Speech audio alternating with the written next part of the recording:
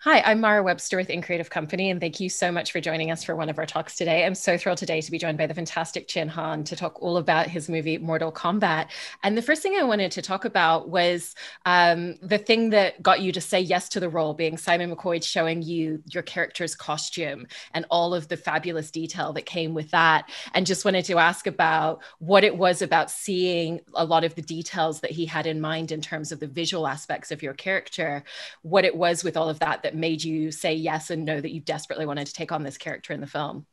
Well, it's uh, you know when you're doing these kinds of movies, uh, especially action movies, you know you're, you're dealing with characters that have a long history and they're so well established already. And sometimes, especially with video games, you know they can play like uh, ciphers as well. You know, I mean, I think what I want to the experience that I wanted to have or want to have on any movie is you know it's is to be able to plumb a character that is you know more textured and and has different layers. And uh, you know i think with him showing me the artwork you know that you you got a sense of it. You know you got a sense that even if the action in the movie is moving like a freight train that you at least still have visual cues and design cues that will reveal character to you you know? And so that was kind of comforting for me because you know you're looking at the script and you're reading it there's action you know and and and fatalities and flawless victories and all that kind of stuff. And you're like okay what, you know is the character going to be lost in all that action? And you know i think as an actor you just want to be assured that you know uh, no you know i mean either we're going to do this by dialogue or we're going to do that by uh, visual cues and you know film is a visual medium so we will we'll, we'll do it one way or the other. And i think that was how uh, simon uh, kind of sold me on the idea of the film and it sounds like one of the one of the challenges with this character in particular as well was inhabiting someone where their goal is literally to take people's souls and to crush them. Mm-hmm. And you know that detailing is down to again going back to the costume. It's he has the faces of people whose souls he's taken etched into what he wears every single day.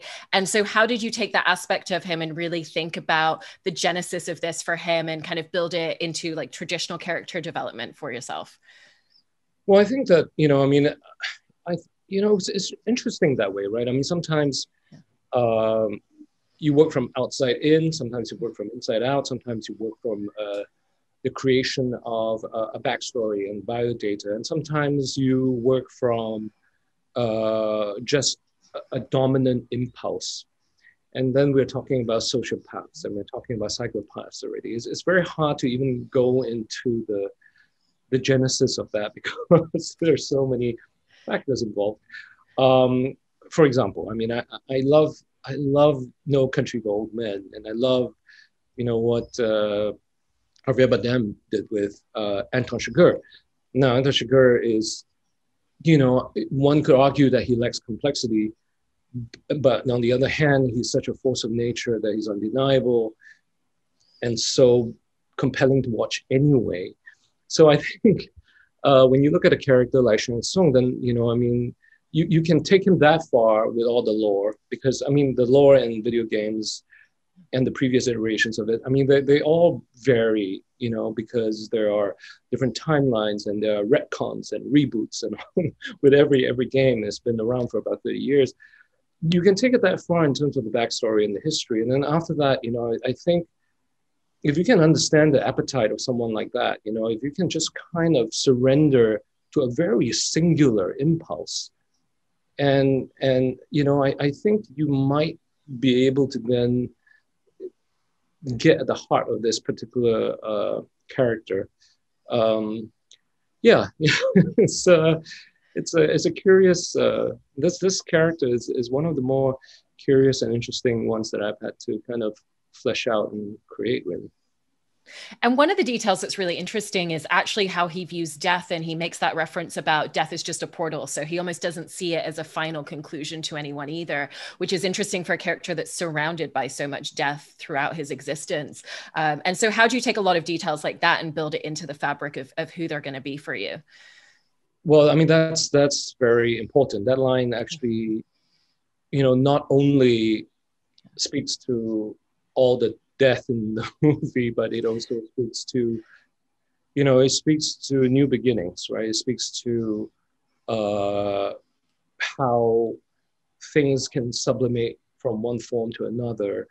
And so, you know, I mean, I, I, I wrote an entire speech for that final scene. I mean, obviously, what makes it into the film is what was appropriate for the, you know, for the for the for the tone of it and for the pace of it. But you know, the idea of it being uh, death only being another portal, there, there is more to that. I mean, and more to that was that it's a distortion of space and time, basically, and that uh, you know, uh, it, it's all perception and and you know, and, and we can alter our realities, which means interdimensional travel and all that kind of stuff, you know. So so that that line means something, and I'm so glad that you picked it up, really, because um, it it feeds into his recklessness. It feeds into his voracious appetites. It feeds into his lack of empathy. Because if it is just a portal, then I'm going to satiate myself till you know till I am satiated, you know, and it's like going to a buffet in Vegas, which is never ending. so I'm gonna I'm gonna stay there, you know, for for you know for as long as I can eat. Really, you know, I I think about this. Uh, I'm gonna invoke uh, Jordan and Peele, right? Uh, they they have a skit that's so funny that is I don't. It's called Party All Night or something. And then they, they keep singing this song, Party All Night, and it keeps going and it keeps going. It keeps. It never ends until it comes to a point where he wants to kill him, to kill themselves, really, because because it never ends. But that that is also one of the interesting aspects of this character because, um, you know, he, he's vampiric in, in a way, you know, and and there comes a point in immortality where even then you're looking for change. And you know um, and, and all of that helps to you know supplement the the, the actions which is the soul sucking and the, and the death and destruction that he orchestrates you know in the film and even going beyond that that specific line, there's so many lines that you're delivering in this film that have such a history. You know, we're looking at Mortal Kombat and the 30 plus years that it's been in existence and, and the emotional connection that people have when they hear certain words and certain lines. And so when you were delivering some of those lines throughout the film, how did taking on board that history and what people's expectations of it might be already from your performance really lead into how you chose the delivery for them? Well, the it's interesting to see how other actors have chosen to deliver them. And then also, I mean, there's the delivery in the game itself too, right? I mean, there are voice actors who have done that. Um, I think there there is a performance for every age. You know, I think if you look at something like uh, Little Women, for example, that that is a very different kind of movie from the one even, you know, from the '90s. You know, with Winona Ryder, and then going back further to Katharine Hepburn. There there are different performances for different times it depends on the zeitgeist and the general feeling, you know, uh, of the time. And I, I think there is there was such a there was such an interesting line that he used in the trailer where I go kill them. and you know, I think Cary back in '95, and I, th- I, think it's a question of personal taste as well. Some people love love that that very open, big, delivery that he he he, get, he, gave, he gives in that film. But that was you know a point of discussion with Simon as well. Just like okay, well you know I mean we, we are in the time uh, of of hyper realism, right? I mean you see drama in the news, you have reality shows, you know a plethora of reality reality shows on TV. You know there there is all of that already. You know so do we want now to have some verisimilitude to the, the world that we live in, or do we, you know, do we do we then you know surrender to the the high uh, drama, you know, and, and high camp of, of another time? And uh, I think we came to the agreement that uh, we wanted something that you know that could be fresh, you know, or could be uh, of interest to the audience today. So I mean, as you can see, I mean that that the, that line "finish them or kill them" was was, you know, almost uh, almost whispered. And what's really interesting when you look at the film as a whole, though, is that there are moments where it does feel a little bit like the video game as well. And it definitely has that aesthetic and that tone within it, but in a way that feels very cinematic, which is such a such an accomplishment for the movie. And so what were a lot of the conversations that that Simon had in terms of trying to figure that out and trying to figure out how that then impacted performances and, and character choices to bring that to the foreground? Um I think some some of it obviously is in is baked into the script already. So I mean, if it's baked into the script and in terms of structure, and we're talking about uh, a story of revenge, right? or, you know, or an age-old uh, legacy of violence that these people have to fulfill, right? I mean, that that is operatic in its own way. And so as an actor, I think you just plug yourself in.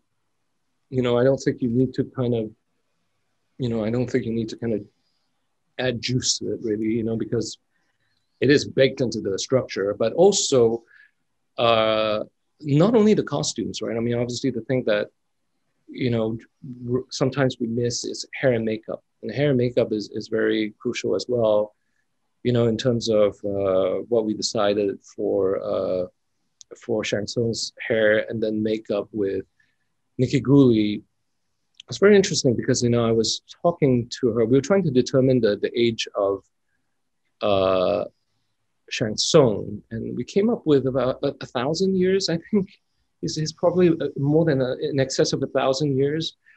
Mm, even if he was Dorian Gray, right, and he was never never old, but all that soul sucking and, and intake of people. I mean, what happens to him? You know, what happens to his skin that is a thousand years old? You know, what happens to hair when it's a thousand years old? What kind of conditioner would he use or moisturizes? Um, I'm kidding there, but the thing is, you know, how how porous the skin is, right? So we we came up with all the uh, you know all the the veins and and and you know and, and a degree of a pallor to him.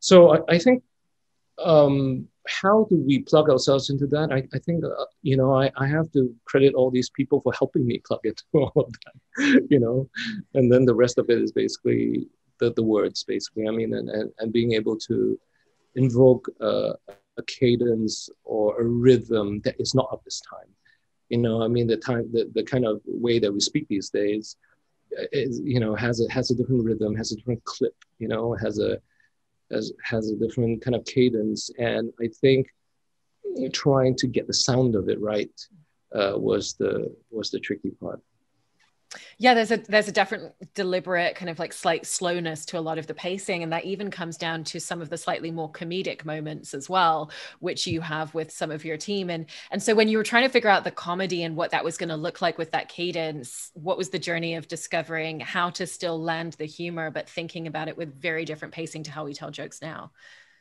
Uh, i think i think it is about uh, what what you find it funny right? I mean i think that if you read Shakespeare as well, you know, I mean, some of his jokes just go over your head because, you know, no, no, no one, for one thing, the words are a little different.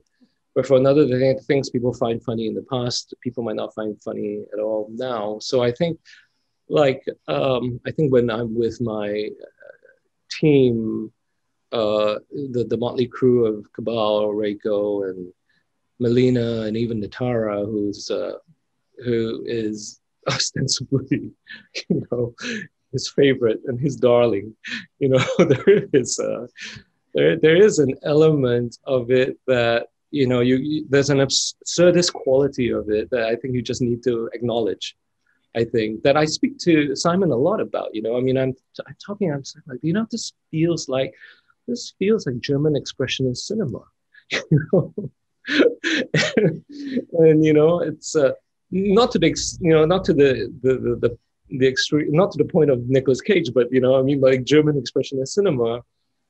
So I'm like, so how does that work? You know, I mean, how does that work? Is that is that you know Sunset Boulevard, you know, is that Gloria Swanson.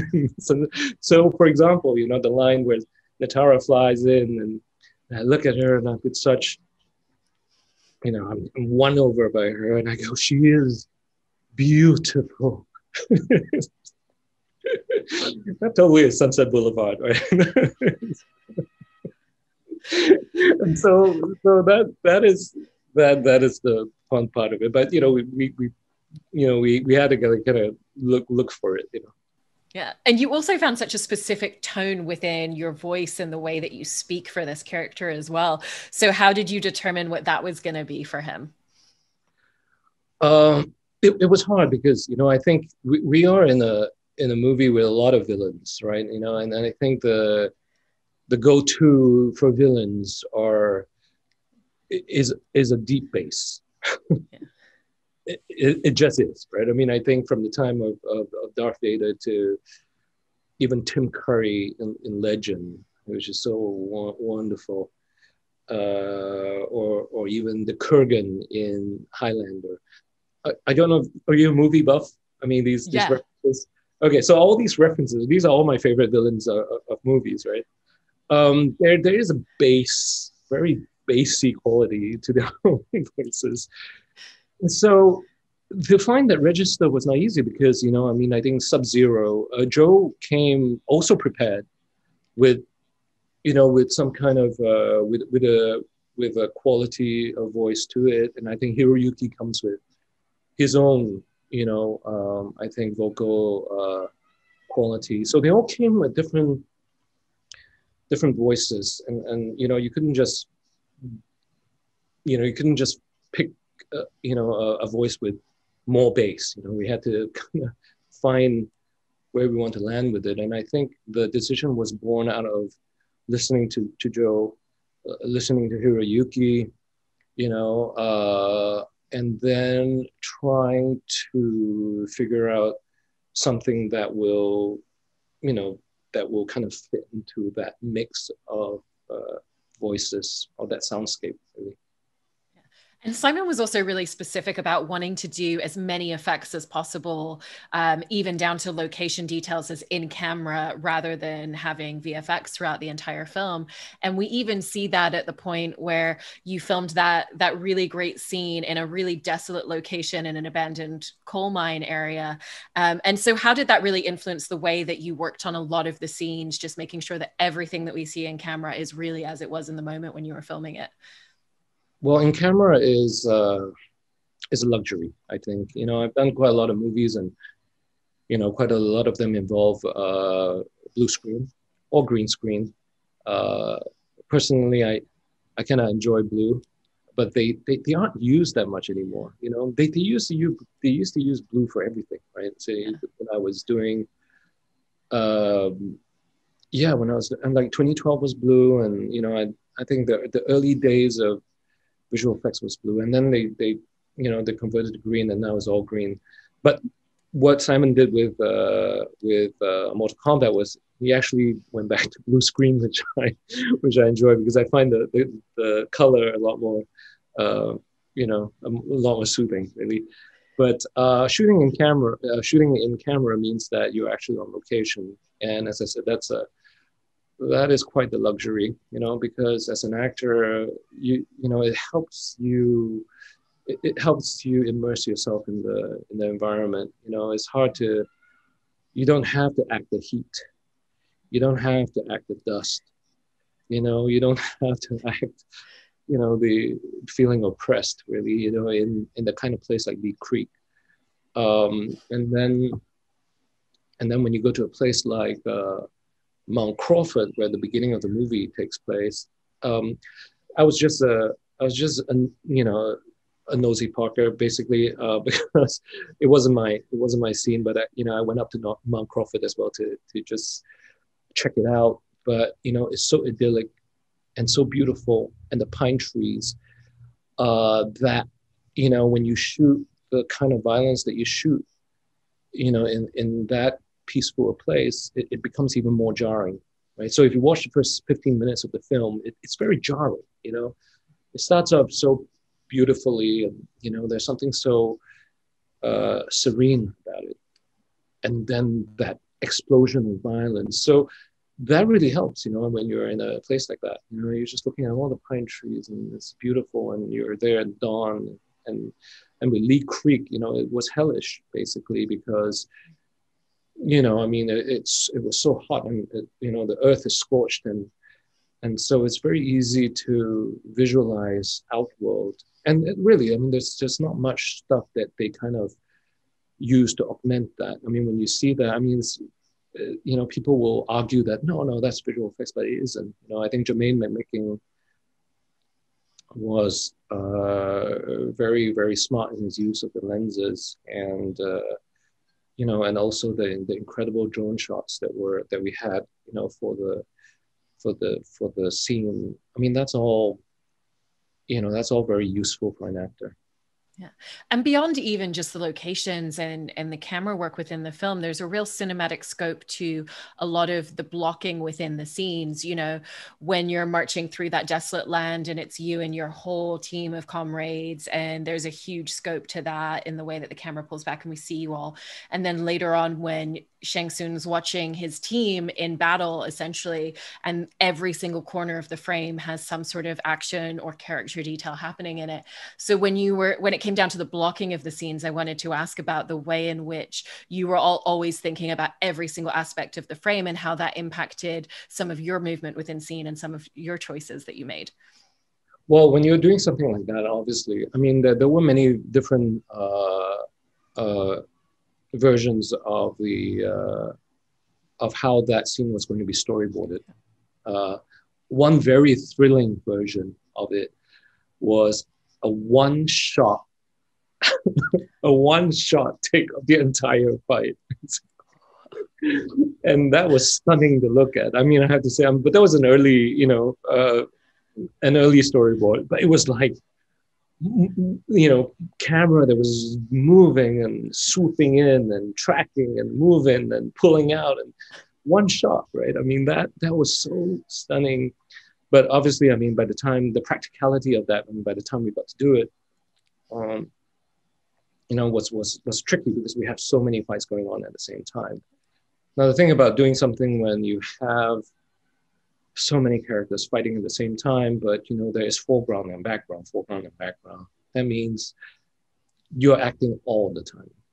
You know, I mean, you know, there are times when you're in the foreground, you're doing it. If you're in the background, you're still acting. You know, and then you're in the background for for the uh, not not to not to give away spoilers, but you know, if, if it's Liu Kang fighting, and you're in the background of that, then you have to be in the background of that, and then you know but then if they reverse the shot and they're covering Jax for another part of it, you know, they have to go back to the, you know, to the the shot that they had done earlier to see if you are in camera too.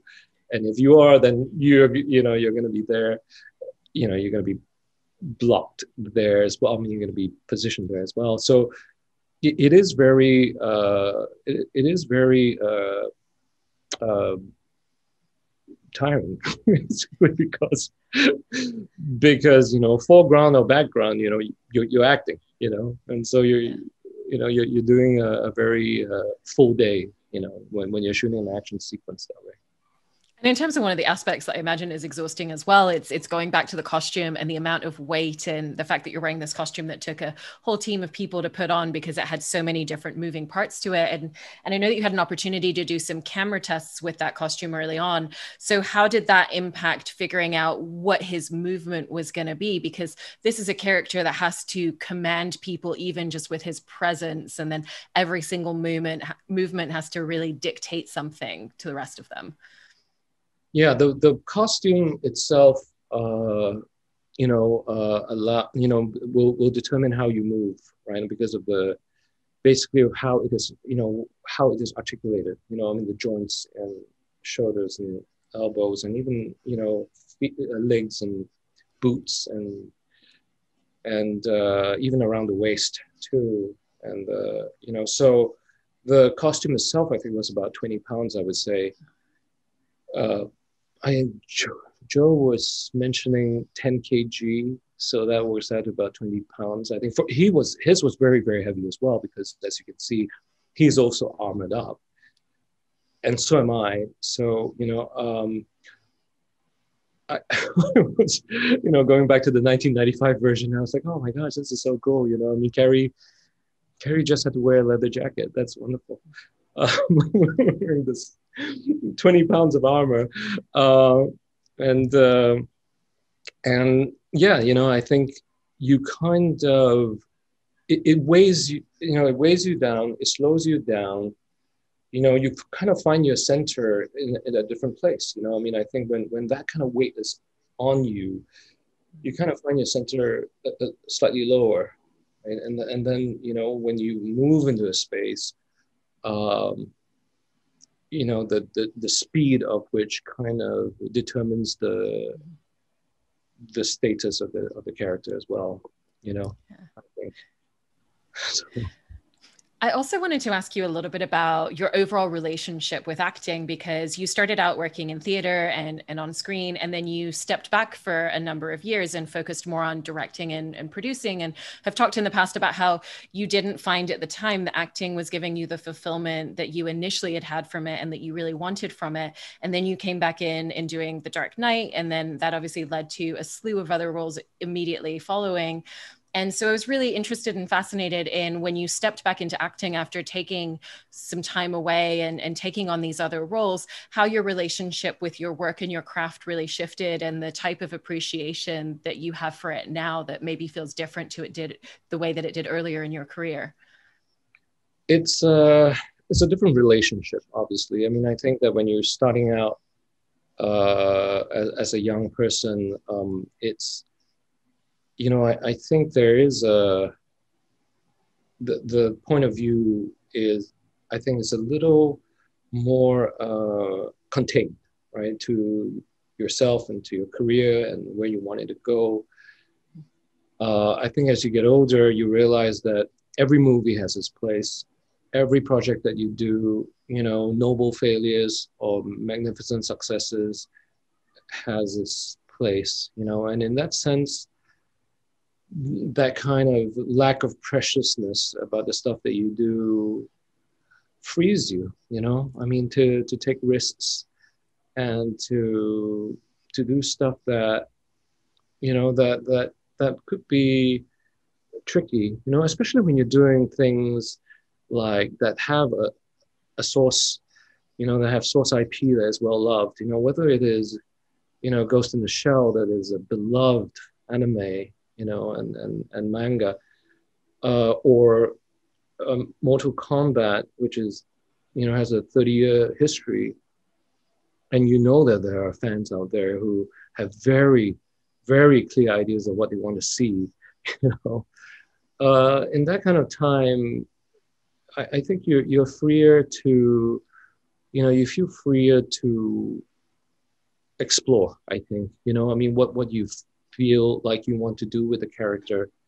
Uh, I think as a younger person, I think you know all that, all those considerations could be very overwhelming. I think, um, but uh, but you know that comes with age. I think you know I think you, you're able to see your career in the context of something else. I think you're able to to see that. On top of the fact that I think directing and producing also helped a lot. I think um, you know, to understand the mechanics of it and how movies are put together or a play is put together or a musical.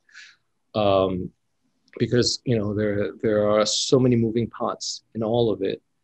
And what you want to do as a director really is to have the sum of the parts be larger, you know, I mean, the, the, the whole be larger than the sum of the parts.